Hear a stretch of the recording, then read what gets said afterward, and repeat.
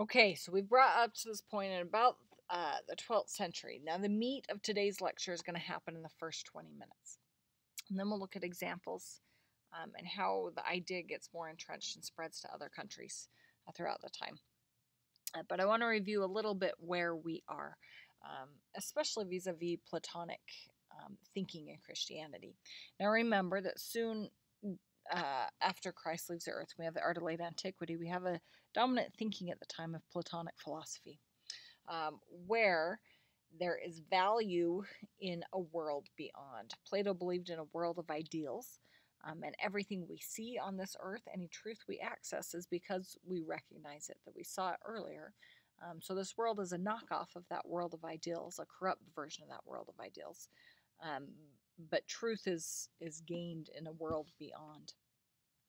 Um, this idea merges with Christianity because it feels a little bit like the story of Christianity, where you have a Garden of Eden, um, and then Adam and Eve eat the fruit, and we've fallen into this corrupt world, and we recognize things, but truth is really to be obtained beyond. Um, this idea um, manifests itself a little differently. We talked about it first in the Byzantine Empire, Empire, um, where you have Christ that is this very distant character um, not of this corrupt earth, but somewhere occupying this golden light filled realm, uh, synonymous with light. Um, and uh, we see a Christ that looks a little frightening, a little scary. The body proportions don't always line up. Um, now, as part of this idea, um, we have Christ who is distant, but he's kind of become this God of light because um, Christianity in the Byzantine world is surrounded by different religions that have gods of light. Christ has become a God of light. Um, Platonic theories manifest differently in the Western world, um, but we see it also in Romanesque, where we often that Christ over the tympanum that's so important as you enter into that church. That's that key teaching moment to an illiterate populace. Um, you're going to see Christ uh, as judge of the world most often as they're trying to scare people into being good. And a similar um, value of, proportion that don't quite line up and don't make sense. But again, this is a good thing, uh, especially those body forms, as we see sculpture becoming a more important dominant part of Romanesque art, are coming straight out of the illuminated manuscripts. That's the holy spot. And so we're going to see these forms of Christ and these bodies that fit together coming straight out of the illuminated manuscripts in a style that's developed of this tug and pull uh, between Germanic and, and um, more classical style, um, but a unique manuscript style. Um, none of which is based in this naturalistic world, which is a good thing because it feels more like that world beyond. Um, now, there is going to be a shift uh, that happens. Now, remember, Justinian, when he was in charge of the Byzantine world, um, is seeking to establish one God, one empire, one religion, and actively killing anyone who is not uh, a part of that religion. Well, the Greeks weren't part of that religion, and so part of his campaign is going to be against uh, any Greek learning. Any libraries that exist that he can find, he'll burn down and destroy any of these writings of, of, of the Greeks because they are heathens. The reason we have any Greek learning uh, to us today um, is because of Islam. In about 600 AD, um, we see Muhammad, uh, who's an illit- illiterate man who goes up into the mountainside um, and speaks to an angel. And the angel tells him to write. And he says, I'm illiterate. I don't know how to write. And he says, Nevertheless, write. And so Muhammad starts writing. Uh, and he receives from that angel the Quran.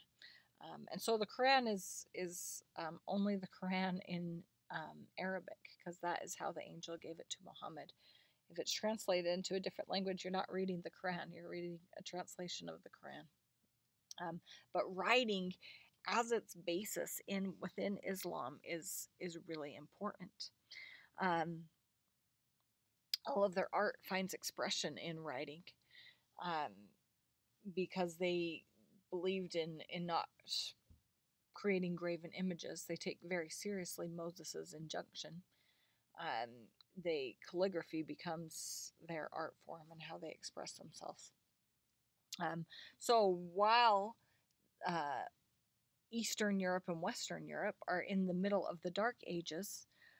Um, Islam is what preserves all the writings of Greek philosophers. They're having this wonderful um, rebirth and renaissance, and this golden age of Islam, um, where they're doing scientific experiments and figuring out different principles of math.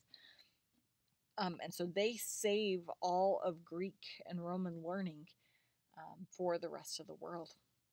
So here we have Islam.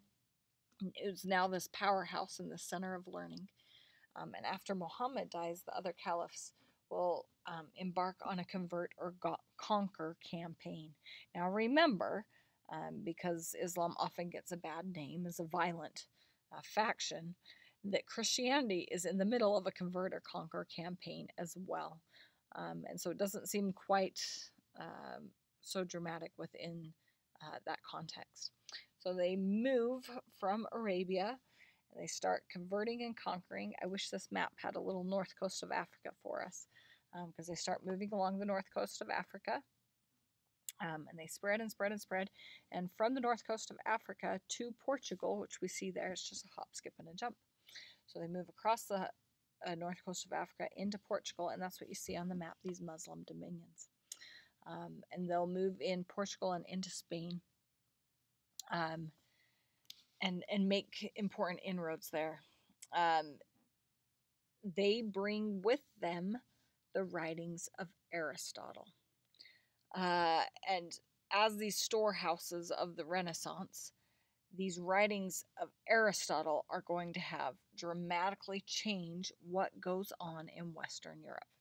So there are three major effects to the Muslims coming into Western Europe and bringing with them the writings of Aristotle. The first major effect is that um, these writings will combine with growing urban centers uh, to spawn new learning and study, particularly in Paris. Between 1180 and 1223, um, the king at the time, Philip II, is going to build up Paris, build walls, pave the streets, build the Palace of the Louvre, um, and the University of Paris will become the premier place to study at this time. We see the founding of universities. Uh, and at these universities, Aristotelian reason dominates. Now remember, Aristotle, as opposed to Plato, believes that the chair is a chair because I sit on it. Um, that there is value in experience and learning about the world by through observation. Um, and so that's what happens at these universities. That uh, they're going to seek to confirm scriptural truth through thought and reason, as opposed to just supernatural explanations. So that's the first thing. So we're going to have new urban centers and the foundations of universities where Aristotelian reason is going to dominate. The second major effect uh, of these Muslim dominions entering into Western Europe and bringing with them the writings of Aristotle is that we are going to see value in the world and in the ability to learn truth and worldly experience. And this is going to revalue the world that has been devalued for centuries now. And as a result, we're going to see an increase in naturalism and human experience that hasn't been important in centuries. Um, so keep on to that. Revaluing the naturalistic world is number two. And number three, as a result of revaluing this naturalistic world, we're going to seek um, or see a softening influence on the church at this time. Now remember, we have God who is a judge in this um, Trinitarian view of, ju- of God established the Council of Nicaea. You have one God, and this God most often takes the form of a judge. But now we're not terrible, corrupt people because we live in the world. We're people having a mortal experience where sometimes life is hard. And what we need is understanding, not fear. We need an advocate before our judge. Um, it can't be Christ, Christ is the judge. But we need someone who can advocate, who can explain what it's like to experience pain in this life. Well, that's going to be Mary. She's going to rise up and become this fourth member of the of the Godhead a little bit, fourth member of the Trinity. And she's going to attain a huge, huge role and is deified. She's the one who understands. She had to sacrifice her son. Um, and she gets what it's like to experience pain and hardship in this world. Um, and and this is really when the cult of Mary or Marianism gets established. Um, the vast majority of cathedrals built at this time are Notre Dame. That's what Notre Dame means is Our Lady. Um, so it's dedicated to Our Lady or to the Virgin. Now we call Notre Dame of Paris is, is the one that's most commonly called Notre Dame, and the rest are just called Chartres, Amiens, Rouen.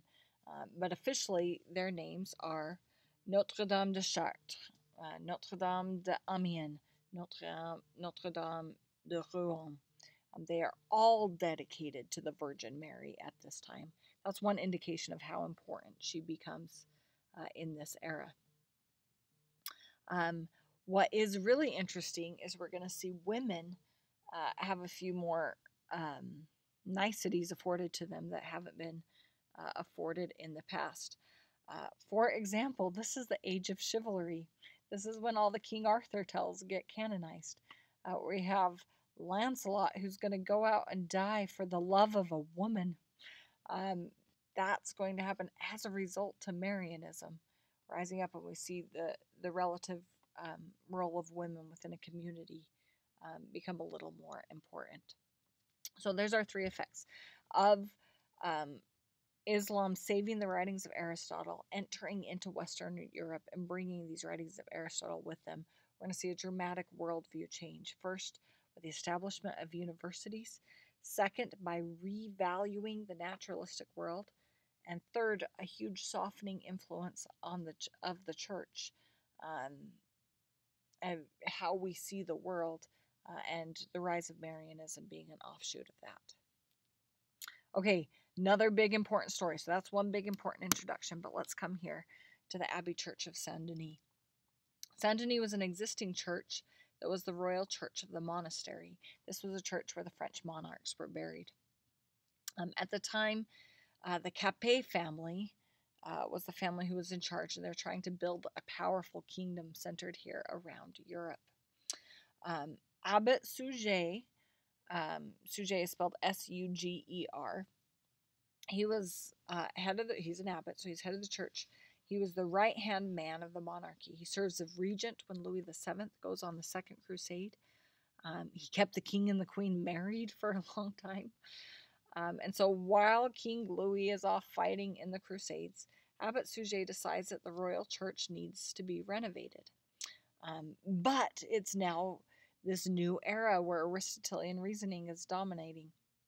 And so he says, I should probably study let's figure something out as I, as I head into this uh, renovation. He does his research, he goes to the Royal Library of France. This royal library that was compiled by Charlemagne centuries ago.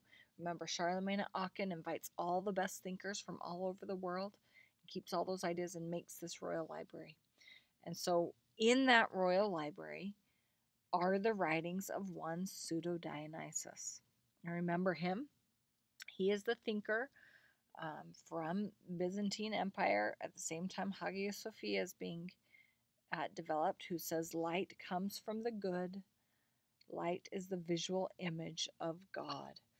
And so here is Suger doing his research, comes across his writing, and he says, That is it. Light is the visual image of God. We need to get some of that light into our buildings. We need, um, he's just thrilled by this symbolism of light and this potential of bringing a visual image of Christ into the building. Um, and so he wants to find, he doesn't just want light in the building though, he wants magic light, this visual image of God light in his building. So he tries to think and comes up a way to get magic light in his building. He calls it Lux Nova. Lux meaning light, L U X. Nova meaning new, N O V A. And the idea he comes up with is stained glass. Now, again, if you don't stain the glass, you get a lot more light in the building. but it's magic light, right? It comes through, the light filters through, fills the interior with this colored light like a prism, um, and it feels like we have the visual image of God. Beyond that, it becomes a new way to teach people stories of the Bible. We have sculpture all around the exterior. We can use these tiny pieces of glass to continue telling the stories of the Bible.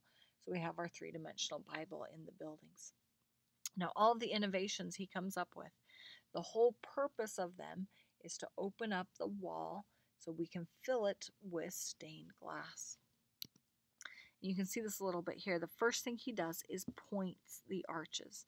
Now we looked at Romanesque. We've seen pointed arches before, but now he's going to bring these technologies together in a new way to open up the walls and fill them with glass. Now you can see here, it's a lot more stable if we have, you can see a groin vault is what we're looking at here. On the left, you see our Roman arch. There's our barrel vault, crossing vault on the other side, and we get kind of this dome on top. Um, and that's going to be the most stable uh, way to build it. But instead, he points the arch like you see on the right. And with that pointed arch, um, it is not as stable. We're receiving more of that weight up on the top, but he can open up more of the wall, use less masonry, um, and get it down to its skeletal remains, all the bare bones we need to hold up that building, so that we can fill in the space we've opened up with stained glass. Um, the other thing he's going to do is rib those arches. Can you see on this on the right? You can see how that thick extra edge that he puts on it. Um, and again, we've seen this before during Romanesque art. But now that we're pointing those arches, we need to give them a little extra oomph, a little extra mass in order to support uh, that ceiling and hold it up. So we're going to point those arches, we're going to rib them. Um, in and and make really slender columns, which you can kind of see here as well. We've got these skinny columns. All of this so we can we can get down to the skeletal remains of the building, open up more of that wall, uh, and and fill this together. What's new is the goal to lighten the building, the lightness, the transparency, the thinness of the parts, which allow the structure to open up. Now, in order to integrate all these complex elements, we're going to see a new profession arise the rise of the architect or the doctor of stones, um, because we have to think in a rather complicated way in order to support uh, that building up there on the top. So, what we were looking at before, this is the ambulatory of Saint Denis. Uh, Saint Denis, as the Abbot Suger um, rebuilt it, um, no longer remains. A lot of it fell down and burned to the ground uh, in a fire. Um, but what we do have remaining is this ambulatory, uh, which is what we're looking at, the part that you walk around the altar, amble around the altar. Um, so we can see uh, what his original plan was, at least in the size. Um, he also is going to restore the west facade with two towers. He takes like Saint Etienne, that um, William the Conqueror's building with that strong, resounding westwork on the front of the building, that west facade with two towers. Um, and he's going to put one of those on the front of uh, Saint, of Saint Denis. Uh, and he also puts in a large central rose window.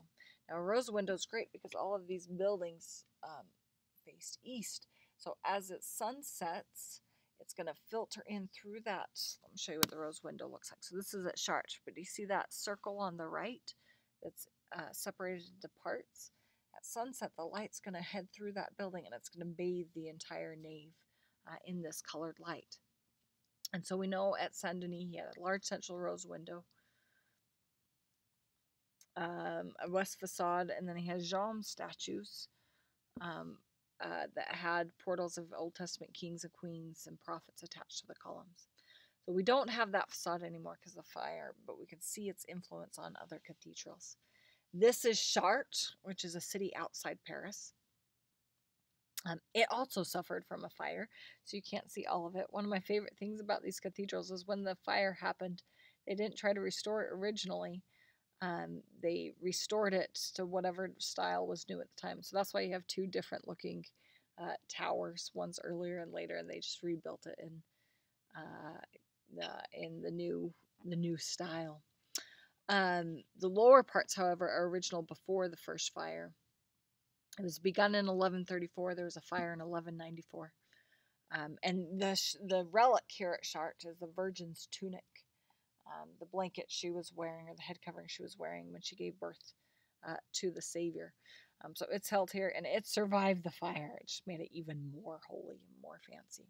So we're going to look down at the bottom portal um, at Chartres Cathedral. You can see the doorway, essentially. Um, uh, because that is original at Chartres and gives an idea of what Saint Denis uh, would have looked like too. So this is it. This is the portal uh, on the west facade. Um, you can see episodes from Christ's lives on the capitals. They kind of leaked um, each door to the next as they told the whole story up on those top capitals.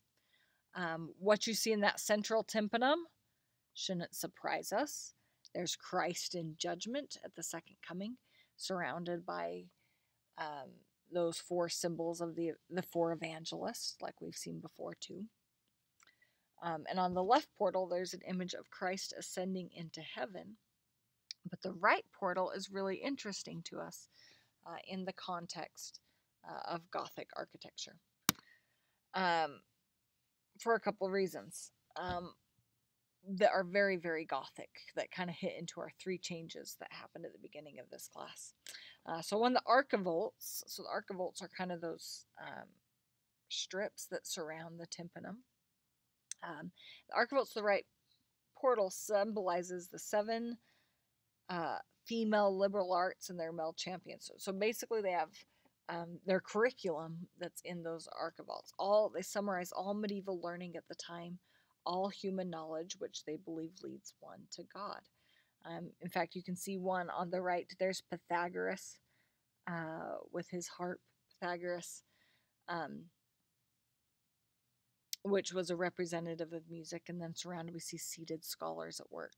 So the fact that they're emphasizing learning as it leads one to God, that feels very Aristotelian and falls right in line with the new universities that are being established at the time. Um, and then inside that tympanum, uh, we see Christ on Mary's lap, above reliefs illustrating the infancy of Christ. So these are all things uh, where Mary is is very important. Um, so on below, you see the divine God being born in the flesh as a man, moving from that manger crib of humble birth all the way up to the divinity recognized by Simeon, Simeon and Hannah at the temple and then on top, sitting on Mary's lap. All of these things that are going to emphasize Mary's import. So there's our, our third one as well, that we see that rise of Marianism. On this whole building that is Notre Dame de Chartres, the whole building itself is dedicated to Chartres, with the relic being this important uh, relic of, of Mary's life. So going back, if you can see down in the jamb statues in the central porter, portal, we're going to look more specifically at these images um, of these Old Testament kings and queen. Um, on these jamb statues. So here we see these royal ancestors of Christ that support or prefigure his arrival. They're dressed in 12th century clothes, not in togas. They're likening the scriptures unto them just a little bit. Now, they stand rigidly. They've got these linear folds in the garments. Um, but looking at them, I think, do I have? I don't have if we were to compare this to an earlier statue like our Jeremiah or Isaiah, they're definitely standing more naturalistically than in Romanesque art. They're standing on two feet, for example. There's too many folds in those garments, but don't they fall a little more naturalistically than we've seen before? And the proportions are a little off. Um, the queen, for example, looks like she's 11 feet tall. There's some long, long legs but there's some attention. Um, look at the faces. Don't they they look like different people, not like a stock. Here's what a person looks like. But clearly they're paying a little bit of attention um, to what people look like, to the naturalistic world. They're clearly using some sort of model instead of just a symbol of, of what human looks like. And three dimensional, they're carved from a round surface, not, not from a lot flat wall no stock figures to tell the story. So a little bit more naturalism than, than what we've seen uh, in Romanesque art. Um, this is the west facade of Laon Cathedral. This gives us a good idea of what early Gothic looks like on an entire cathedral. So what we can tell Gothic, you've got that big westwork, that huge central rose window. Again, so the light at sunset can filter in through that window and flood the interior with light. Deep porches, open towers. They're doing everything they can um, to to subtract from the solidity of the building. In some ways, it's it's helpful to think of a Gothic cathedral as a giant sculpture, because um, that's what they're doing is they're they're trying to get away the unnecessary, carve out space within the building, so the whole thing feels light and airy and transparent, um, opening up the solidity of the wall and filling it uh, with this delicate glass, reducing as much mass uh, as they can. And if we go in Laon Cathedral, um, you can see that light that's coming through and, and filling up the building. Um, it maintains some Romanesque ideas, um, but you'll notice that rib vaulting, um, those engaged columns on your, right now we're still ABAB um, as we march down that nave, but that ribbed vaulting that's engaged that shoots all the way from the bottom floor all the way up to the top of the ceiling into those ribbed vaults. really emphasizing the verticality of the building. This is still divided into four different steps, just like Romanesque. But those engaged columns seem to pull you up. And that's the idea that if I walk into the building, my soul is pulled up, the light filters down, and somewhere in that mess um, becomes a communication with, with divinity. Um, we have this new idea of the triforium. We're going to break up that continuous wall surface. Again, trying to strip it down to its skeleton uh, to make it appear lighter, a more sculptural appearance. Um, this is a good one just to kind of show you that idea that they're going to push higher and higher and higher to emphasize that verticality. So I walk in and my soul is pulled up. Now, what's interesting is they they don't have a lot of mathematics to to understand the weight of these buildings. So in some ways, it's guess and check. So you can see Laon. It was built a little bit higher with Notre Dame de Paris to Paris, a little bit higher. Chartres is just a little higher. And then you see Amiens. Amiens is as high as the buildings were ever successfully built at this moment. We have some examples, Beauvais, for example, uh, where they try to build even bigger than here at Amiens. They'd build for 40 years and building that tower, and then all of a sudden it would come crashing to the ground because they, they outstripped their abilities. Uh, and then uh, sometimes they'd give up. And so Amiens is the, the tallest successfully completed uh, Gothic cathedral. You can see them trying to get higher and higher and higher as they're pulling their soul up pushing you up high as the light filters down. Um, I have some numbers here. Amiens tallest complete cathedral at 139 feet high. Um, the concurrently built Beauvais was 157.5 feet high, but again, it collapsed twice. Uh, and, and so the project was abandoned. This is Notre Dame de Paris. Uh, and I'm recording this in when am I recording this? It is June, almost June of 2019. Um, we've just had a fire at Notre Dame, which breaks my heart. Um, and so some of this, that um, that tower, for example, doesn't remain. Uh, and that roof line, they're trying to figure out how to rebuild. Um, although uh, that tower was added on, I believe, in the 19th century, um, after after they start rebuilding after uh, the French Revolution. Um, so it wasn't quite original to the 12th century, um, but still just heartbreaking. But amazing that a lot of the stained glass and, and much of the structure remains. Um, so here, uh, this is one of the largest and highest of the early Gothic cathedrals. Paris becomes a major city uh, at this time. Uh, Louis VI is going to move his official residence to Paris. Um, so this was a big Sorry, this was a big cathedral at the time. Um, what was uh, amazing, what they did here is they had to invent some new technology on the fly. Um, it was large, and as the roof started collapsing, they had to figure out how to support um, the building. And so they invent uh, what you can see around. In fact, this you can see them right here. Oh, I can move my little arrow. Hopefully, you can see that. These are called flying buttresses. Um, and what happens is when you have a pointed arch, the thrust is going to go outside and push outwards. If you have a Roman arch, the whole thing supports itself. But when we point those arches, the weight comes down and it moves out for the end of the point till it goes down. And so that's what the flying buttress is. We could just make thicker walls, but we don't want to. We're trying to get rid of the solidity.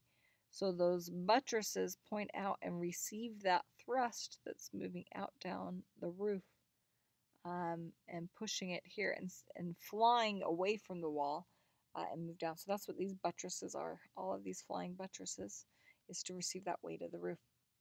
Invented right here at this very building. Um, and um, because of those, uh, subsequent buildings are able to go a little bit higher as well. Um, if we go inside, oh, that's Chartres Cathedral, sorry. They use uh, six-part type vaults uh, to cover the nave. It is four stories like Laon. Um, just the triforium was filled with windows. Well, actually, let's go slide above. You can kind of see that, Paris. And fill this with windows over here. Um, doing their best to carve away at that wall, chip away at that wall, and flood that interior with Lux Nova. Um, this is the front of the building. Again, you can see that, that rose window uh, there at the front. Um, early Gothic has fairly, fairly shallow portals here. And what we've seen is kind of this geometric design becomes a lovely part of it. Uh, one thing to bring up that we haven't seen yet, because um, you can see these are pretty white, pretty gorgeous. Um, it's funny when we think of Gothic cathedrals, we think of these kind of dark, imposing buildings.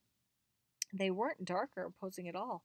Uh, they were built in this really white stone uh, so when they built, they just gleamed like the city on the hill. But they're all at the center of cities. Um, and so all sorts of pollution has been thrown up on those buildings um, since they were built. And so they are constantly being cleaned. We'll look at one slide a little bit later um, where you can see um, the scaffolding in place where they're just scrubbing those buildings again. Um, in fact, when neo-Gothic when Gothics become Gothic architecture becomes all the rage in the 19th century and it's built in America, they built it out of these dark, dark stones, um, but not realizing that the original was this brilliant white. This is Chartres Cathedral after the fire uh, was rebuilt. Uh, when that fire happens, only the west facade and the crypt, which housed the relic, uh, were left standing. And so the crypt kind of determined the dimensions of the cathedral. But other than that, we see a shift to High Gothic right on this building. High Gothic vaulting, which you can see um, here. Instead of having a six-part type vault reaching up, what they do is they make really skinny bays. So instead of having X's, you know, equilateral X's, we have these long skinny X's. Um, by pushing them together, they get more vaulting per square inch essentially. Um, but they can really make them steep. And then we have these engaged columns that pull us all the way up to the top and we get this really high uh, image up, up to the top. Fewer parts that brace more easily. Notice they've abandoned that alternate support system. They make them all look the same. So instead of having a pattern that's emphasizing its horizontality, they have the engaged columns in that rectangular base system, those skinny bays, that are emphasizing the verticality, pulling the soul up high. This is actually the first church plan from the beginning with, with flying buttresses in place. And notice that Lux Nova on the walls. You can see that light coming through that stained glass and see that reflection on there. Oh, just beautiful. Um, to see some of the examples uh, here in Chartres. Uh, this is Notre Dame de la Belle Verrière, Our Lady of the Beautiful Window. Um, you can see that virgin and child. Um, just like they're cleaning the outside of the building, they're also cleaning the inside of the building. Um, so his skin isn't actually darker, the glass is just more dirty. If you've ever been inside a Catholic cathedral, candles are a really important part of their worship. And candles let off a lot of, call it lamp black, that, that kind of stain the windows. Um, and so, so it's continuously being cleaned as well. But here it's interesting when we see Christ at this time period in Gothic architecture, Christ is usually as a baby because he's sitting on the lap of his young, beautiful, haloed, crowned mother. Um, that she becomes the emphasis in this story. And that's how we know that we're firmly in the Gothic time period. Here we are in Chartres as well. Um, you can see this rose window, all the intricate details of it, and the lancet windows uh, down below. Um, windows like this were really expensive endeavors, and you can read that class society in the windows. This window was donated by the Queen of France. Um, lesser nobles and members of the clergy donated funds for many of the, the lancets, these tall windows um, at the bottom. And then the rising working class for like the guilds of bakers, wheelwrights, weavers, furriers, goldsmiths, carpenters. They provided the rest of the windows. Um, and they left signatures, little miniature pictures of themselves. Um, and so it was a big community endeavor. Everybody worked together and donated uh, to these buildings um, and created them. Um, in this, we see the Virgin and Child right there at the center shouldn't surprise us, especially given the last slide we talked about. And then the 12 square panels around surrounding it, oh, excuse me, contain um, images of Old Testament kings, who they're applying these ancestors of Christ. And below in these lancet windows, we've got images of various kings, uh, including Melchizedek and David Solomon, uh, and Aaron. So there's um, these Old Testament kings. So we're implying the ancestry of Christ that goes backwards, um, implying the royal ancestry in charge of France. That's uh, an assumption that's coming forward from Christ, that they're just part of this long line of, of royal authority. I want to talk a little bit about this character. Um, this is Saint Anne. So Saint Anne is Mary's mother. So there's Saint Anne with baby Mary on her lap. Um, she becomes important at this moment uh, because Mary has just been deified, kind of quasi deified. She's become the fourth member of that Trinity, of that Godhead. Um, and so, in order to be deified, uh, it's important that she came into this world without any funny business happening, right? Christ is born by immaculate conception. But here, Mary is also um, godlike, and so she also needs to come in this world by immaculate conception. So the story of her mother is increasingly important. And she indeed was. St. Anne conceives and bears Mary without any funny business getting her into this world. So there's Mary and um, St. Anne. Just to show you a couple of other just gorgeous, gorgeous windows you can see all the very intricate work that goes into them. And also, especially on the left, there's the story of the Good Samaritan. Uh, how they're going to maximize every space in order to tell the stories of the Bible. Same way that in Romanesque they used the whole exterior um, to communicate that story. Now we're going to use this new space available to us in stained glass uh, to tell more stories of the Bible.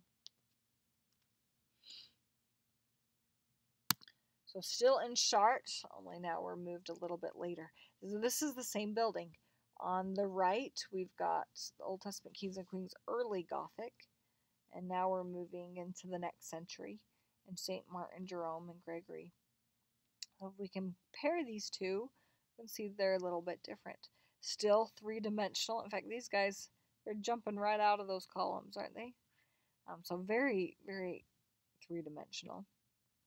And just like we had a, uh, paying attention to individuality on the right, we're going to see more individual looking faces on the left. Um, but it's clear they're observing nature even more, right? Doesn't it look more like they're paying attention to what people look like? For one thing, the proportions of those guys make sense. Um, those legs aren't 11 feet long, but they, they seem to fit. Um, and they're not standing quite so stiffly and awkwardly, but they seem to turn uh, within their own space. And drapery. Drapery is always a dead giveaway. Uh, on the right, it's starting to obey laws of gravity, but still way too many folds. But on the left, those folds are starting to make sense. Um, note they're clothed in, in 13th century clothing again. Um, still detailed, but you know, those thigh swirlies are gone. All figures can be identified. They're carrying the attributes of their identity. So sculpture is shifting, showing that number two change, where we are re emphasizing the naturalistic world. This is it, guys. This is Amiens. This is the height of the Gothic cathedral. Um, all the innovations that they're going to play with in Gothic art. And you can see, especially look at that ceiling, that rectangular base system, ribbed vaulting, buttressing that allows for an entirely skeletal plan. Walls after this really hold no functional purpose, which is essentially the same thing we do today. We build with iron rebar or steel rebar fill it in with a skin of concrete, but the concrete's not supporting the building, it's the rebar. That's essentially what Gothic architecture is. They've stripped it down um, to its skeleton, filled it in with walls of glass um, that, that aren't really supporting anything. Slender piers. As we saw, it got higher with each step. Paris Laon, 78 feet high. Chartres is 118. Reims is 123. Amiens is, is 139. Um, so Amiens is is about twice as high as Notre Dame de Paris. Um, really, really high. This dramatic sense of verticality. You walk in that door and your soul gets pulled up to the ceiling. Um, but it's partly an illusion. They make it skinnier too. Um, so in Paris, the, the width to height is 1 to 2. Uh, in Amiens, it's 1 to 3. Um, so they've made the width smaller so it feels taller in on you as it pulls that, that soul up. And it is filled with light. Not just any kind of light, but Lux Nova, new light. Um, we get it just like in Hagia Sophia, this image of Jesus Christ pouring into the building. This is the west facade of Amiens. We've carved out those walls. Um, everything that does remain uh, is is covered. We've dissolved the solidity of the building, weightless. This visual image of hell, heaven. There we see an Amiens. Maybe the ultimate in high Gothic facade is this is my favorite is Reims. Doesn't the whole thing just feel stretched? Even that front door and is is just pulled up. And there's that scaffolding I was talking about. This is in the middle of being cleaned deep carving stretched for height. And maybe as the ultimate, we have that giant rose window in the center, but now even the tympanum has been turned over um, to stained glass um, so that we can feel uh, that, that light as it pours into the building. My favorite sculpture is around the corner, one of my very favorite works of art. Uh, this is the Visitation on Reims. Um, well, one, let's just look at it. We've moved beyond the architecture, right? They've jumped all the way off the side of that building. They're not stuck in that column. Um, but there's the story itself is is so gothic. For one thing, this is the moment when Mary comes to her cousin Elizabeth to tell her that she's pregnant, but she doesn't even have to tell her. Do you remember why? Because Elizabeth is also pregnant. And when Mary comes up Baby John inside her belly leaps to life, um, recognizes the baby in Mary's belly.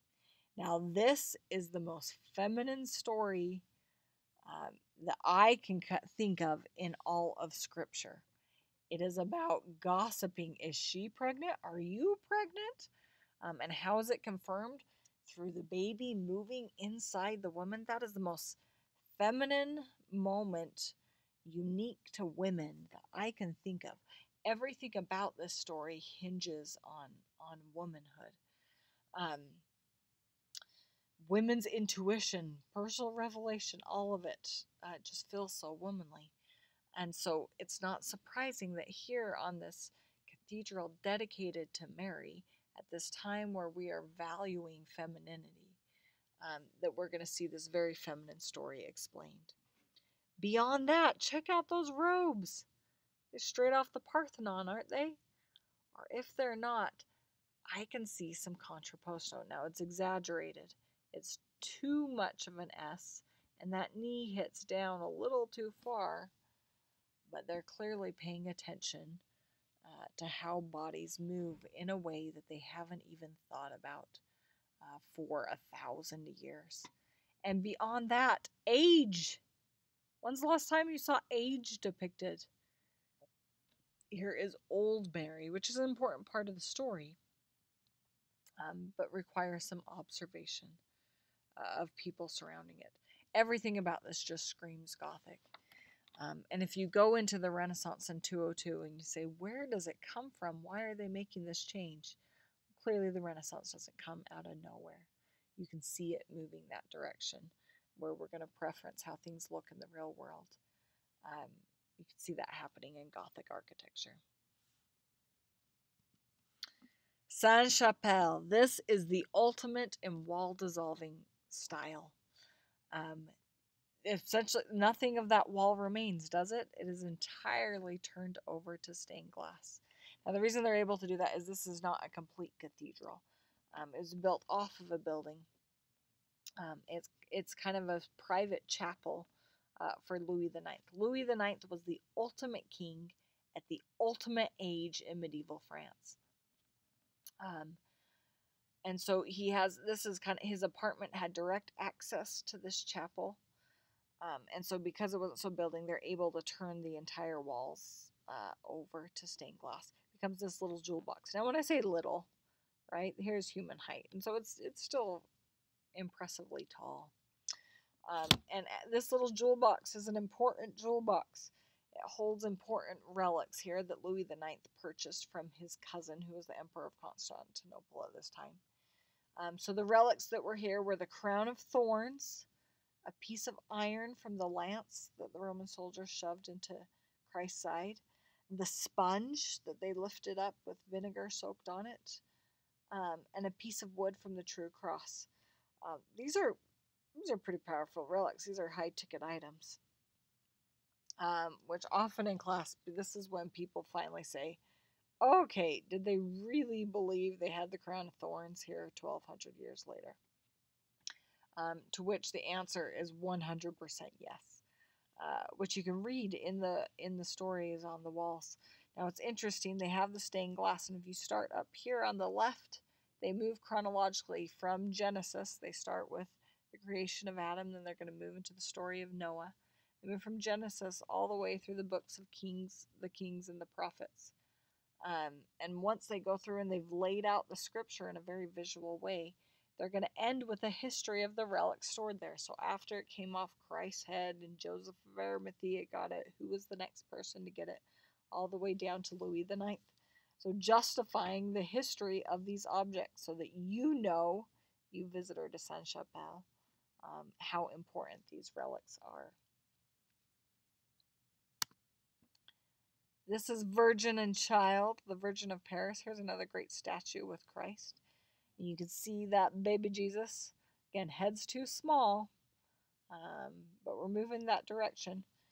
Um, but in the arms of his young, beautiful, very queenly looking mother. She looks very much like a worldly queen. These heavy garments, heavy crown, um, and that exaggerated S shape that um, is pushed so much that it's it's not a natural way to stand. They're probably more ornamental, more decorative. Um, indicating her her position as a as a courtly queen. When we move later, this we're moving into late Gothic, sometimes called flamboyant architecture. Flamboyant uh, means flame-like, um, and that's that's kind of what this looks like, doesn't it? A little bit like it's on sculptural fire. Um, it's a smaller scale building. It's only 180 feet long, 75 feet high. Um, and you can see a little bit the ends became the means, or the means became the end. Um, when we had we were pulling together, we're carving away at the wall to dissolve it to make it feel lighter. That's kind of the idea of carving away at the wall and and adding this has has created a tracery and this kind of brittle art uh, sculptural look that really overwhelms uh, the building. Ornate gables pierce through, making brittle decorative webs. The profusion of that decoration overwhelms the building. Where we've kind of lost our goal of increasing height and dissolving the wall to fill it with, with stained glass. Now we're just dissolving the wall and, and, and adding this extra decoration. I just want to give you an idea. This is the fortified town of, of Carcassonne. Clearly, it's a time of defense. See that thick moat uh, that surrounds the city. Ramparts sometimes enclosed entire towns. You'd have guards circling the town. So Carcassonne gives a little bit of an idea of that. And you can see it, the fortified castle with a cathedral. Find the cathedral that there's your cross building. Um, castle, town, all of it enclosed uh, within this building. Um, see this book manufacturer book. Um, here's shift a little bit into illuminated manuscripts and see what they feel like in this Gothic era. A book manufacturer shifts from monks meticulously copying out every word of the Bible to urban workshops. Um, and so that's what we see down in the lower register of this. Uh, you can see a monk and is directing someone who's not a monk who's illuminated that manuscript. Up at the top, we see Blanche of Castile, uh, who was the mother of Louis IX. This is your ultimate king. Um, and so this is, it's dedicated to them. She purchased this book for him. And you can see that shift in the culture um, down below.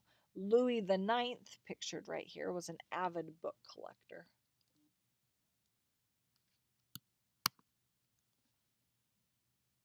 Oh, this one's fascinating. Um, so here we have Abraham and the three angels. We've already talked about this is our favorite story from the Bible, where the three angels come to Abraham and say, "Hey, we're gonna burn up um, Sodom and Gomorrah," and he goes, "Wait, what if there's 20 good people?" And said, "Nope, not for 20. What if there's five? Gets down to one, and they can't find one good person to burn the city. And again, they love this part of the story because they see the three angels as uh, prefiguration for the Trinity. Um, but what's interesting is you know this is Gothic. We've got that rose window in the background, pointed arches. Um, but even that really heavy dividing in between makes the image itself look a little bit like stained glass. So just as sculpture looked back to manuscript illumination, the holy thing is now light. And so that illumination is going to look to stained glass in creating the art. Often books and stained glass were created in that same workshop, so it's very much not surprising uh, that we see them influencing each other. Uh, figures in kind of that pushed S-curve Rayonnant style. Um, and one thing you see that we've seen before, two episodes of the of the story on the same page here. Abraham's greeting on the left, um, and entertains them on the right. Uh, David anointed by Saul. You can see David preparing to kill Goliath. David slaying Goliath with the sword. And multiple scenes from that same story within it. We've got to label everyone. So here's Samuel anointing David. Uh, there's King Saul and David dressed like crusaders, as they're likening the scriptures unto them. There's Goliath with a stone stuck in his forehead. And then David, who's chopped off his head with his gouge in it, is taking it with him. More sculptural, a little bit. Still two dimensional, but we've kind of seen this more emphasis on, on what things look like in the naturalistic world and, and moving in that direction.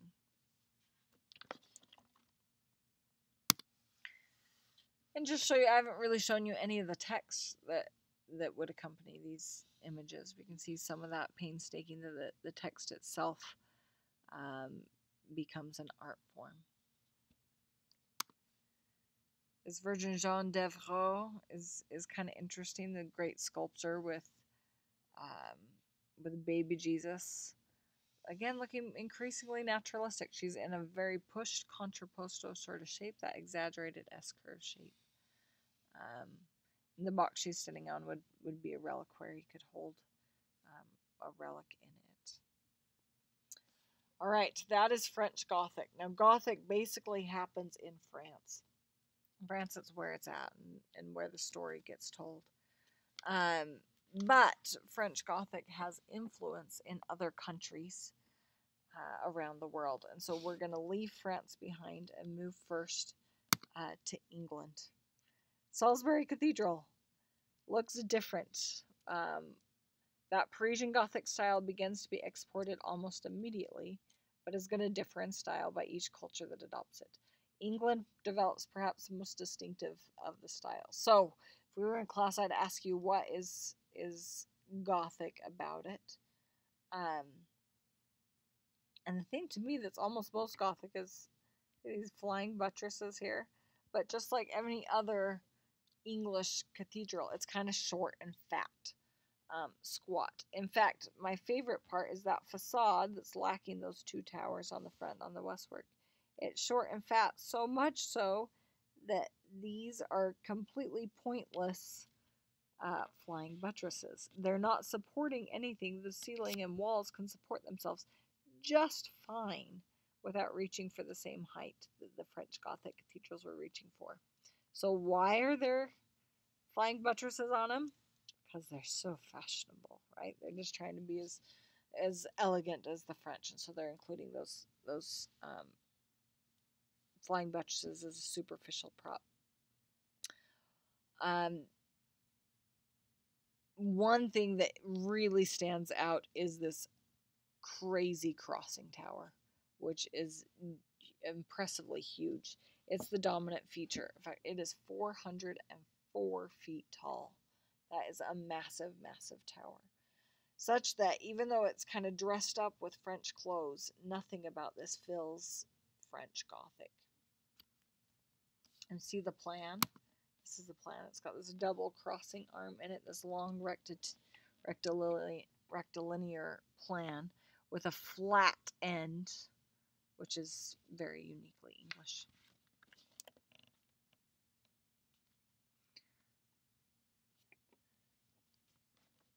And if we want to go inside the building, this is what it looks like. Um, again, very different from French Gothic. Uh, it's got the three-part elevation of Parisian cathedrals, but kind of a squat gallery. Um, and those pier colonnettes stop at the top of the piers instead of stretching all the way up to the vaulting. So we don't have those engaged columns that emphasize the verticality of the building.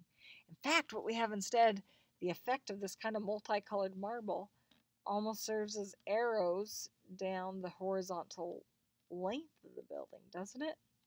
So we're emphasizing that horizontality instead of the verticality that was so important to the French.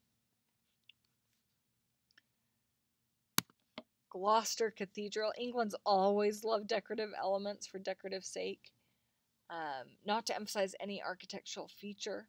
Uh, in fact, just to remind you of Romanesque Durham, and just those chevrons just for funsies, right? It seems very Germanic that way. Um, and so this is going to grow into what we call the decorated style of the 14th century. This is the perpendicular style, um, which you can almost think it's like the ceiling's perpendicular to whatever we're pointing up. France, we're just going to point up to the ceiling or point up to heaven.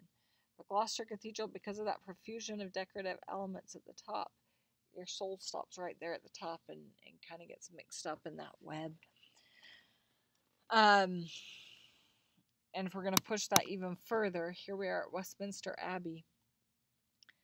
Another form of this perpendicular style is that fan vault. Isn't that ceiling incredible?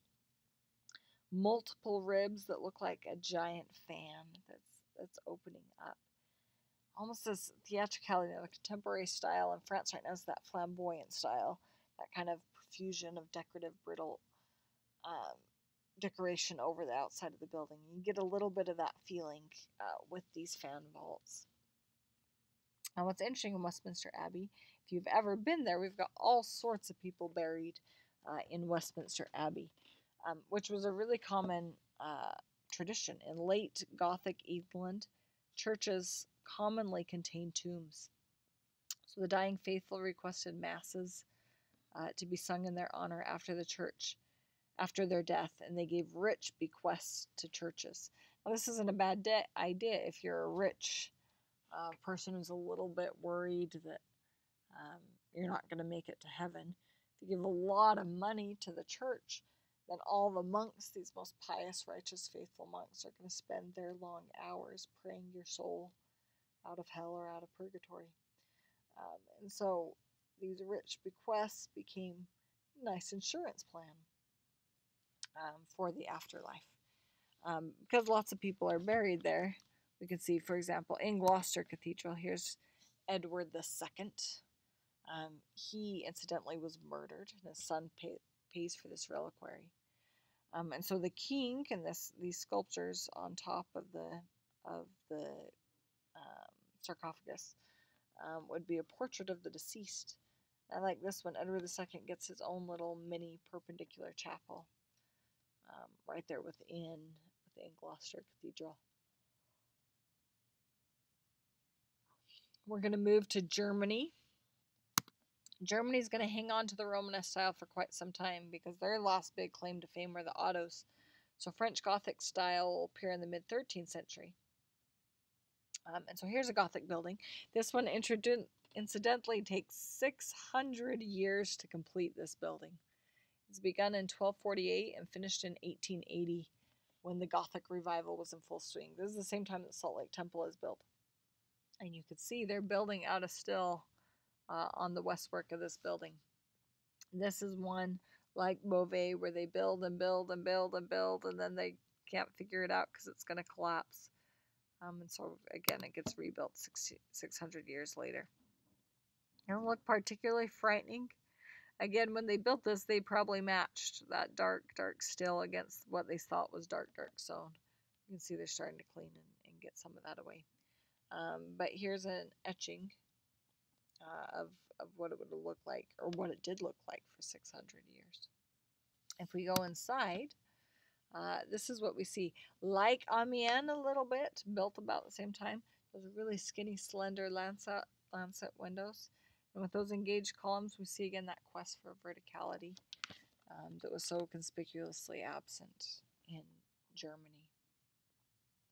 One of the earliest German variations on French standards is the Hall Church. Um, and all they do here is they raise up the side aisles to the same height as the nave. So no galleries, no triforium, etc. But just, and they're going to compose them entirely of windows that flood the interior with light, especially because they've made this great hall. More so than the French Gothic uh, cathedrals.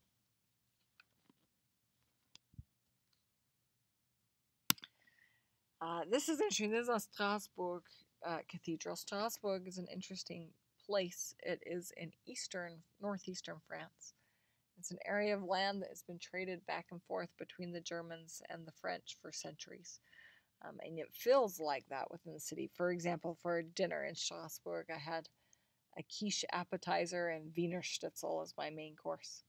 Um, it just is this funny blend of the two cultures.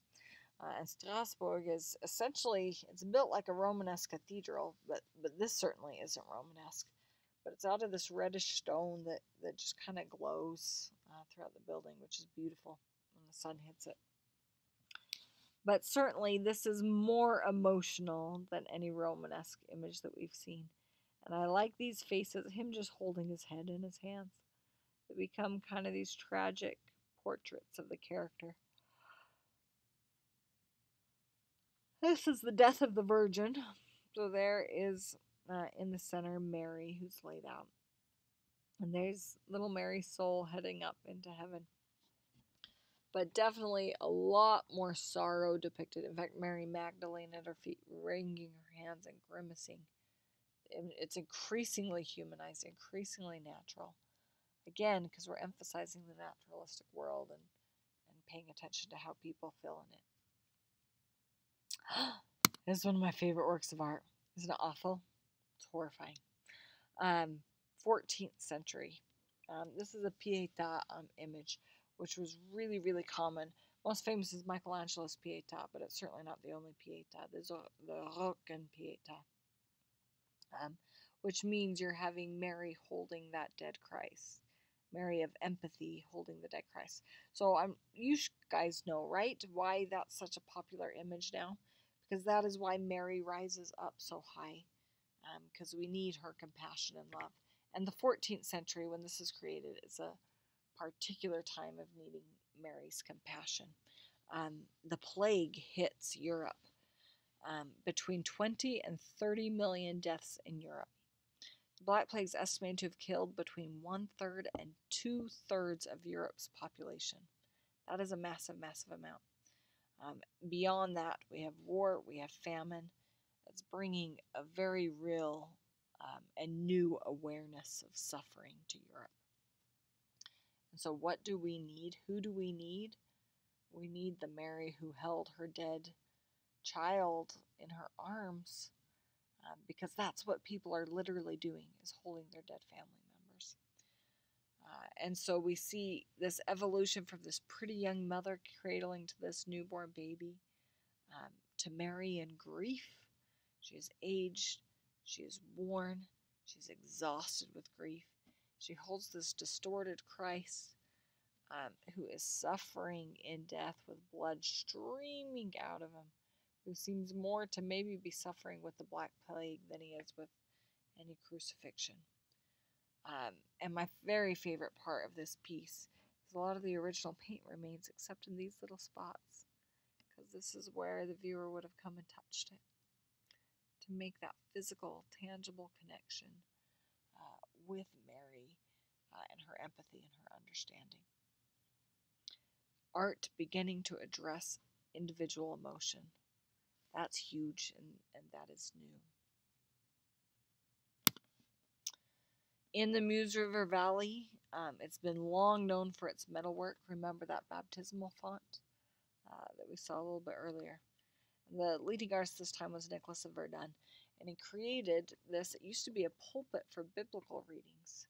Um, we're going to start to see um, pulpit this new piece of church furniture because we want people to start to understand what's going on in church. We're addressing that individual. Um, and so the middle row addresses those New Testament scenes. Um, upper and lower rows contain Old Testament scenes. So you can read it from left to right, you can read it from top to bottom. Now, we don't know if this was Nicholas of Verdun's original organization, but there was a fire again, and this is what was created after. Um, and so things like the sacrifice of Isaac would be paired with Christ's crucifixion, so they could see it as the Old Testament prefiguring the New Testament. Um, and so that's what we see on the right here uh, is Abraham sacrificing Isaac. Doesn't that Isaac? I mean, clearly he's not living a normal life out after that. That is one traumatic, bound figure. Um, and you see that angel coming and grabbing that sword some of this drama of the Gothic age, that angel swooping in at the last moment, a lot more emotion than we certainly would have seen in, in Romanesque art.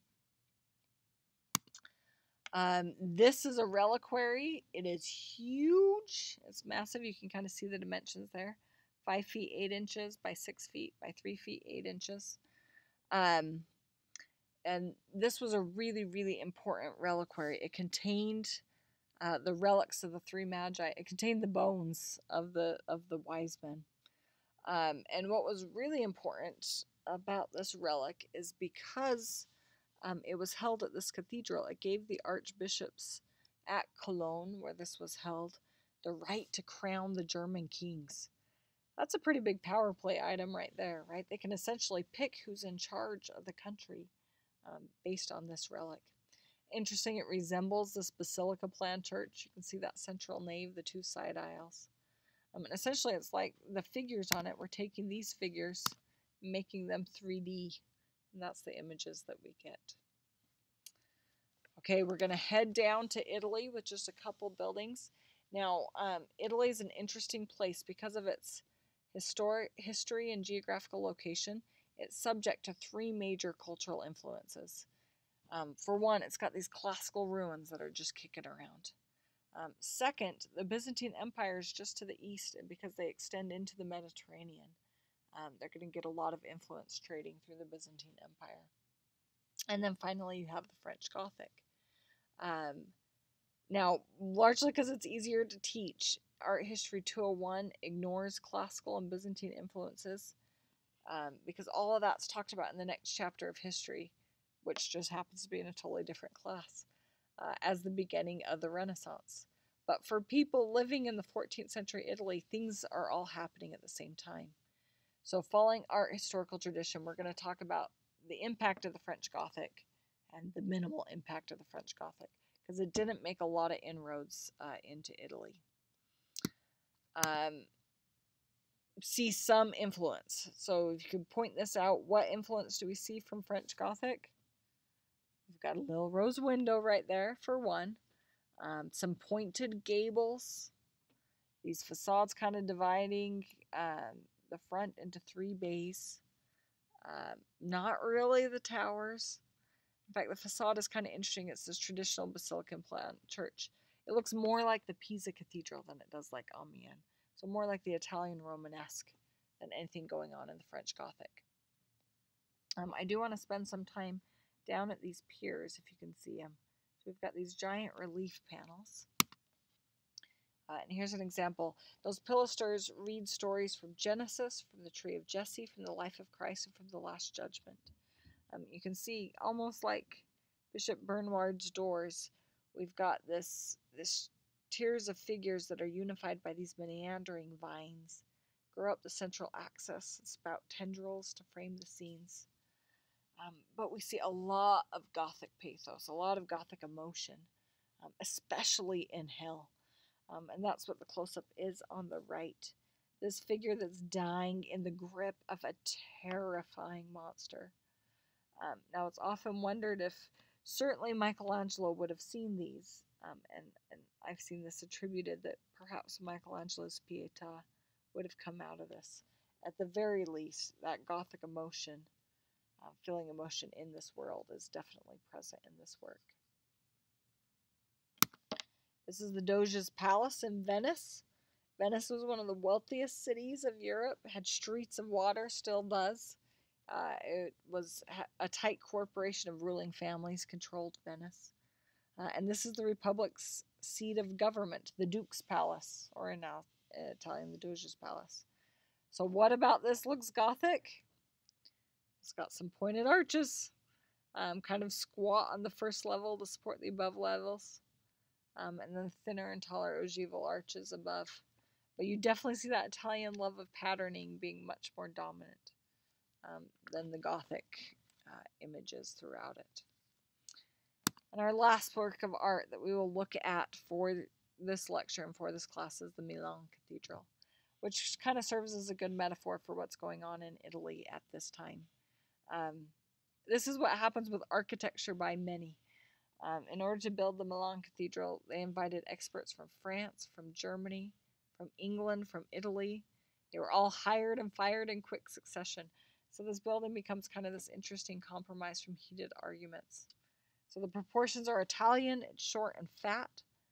That French desire for height and light are almost entirely ignored, except the surface decoration. All that brittle tracery and sculptural decoration is Gothic. Um, but you're going to see Renaissance classicism, where they're valuing um, kind of Greece and Rome again. It takes over with some tympanums. This becomes kind of this hodgepodge of styles, which serves as a wonderful metaphor uh, for Italy in the 14th century.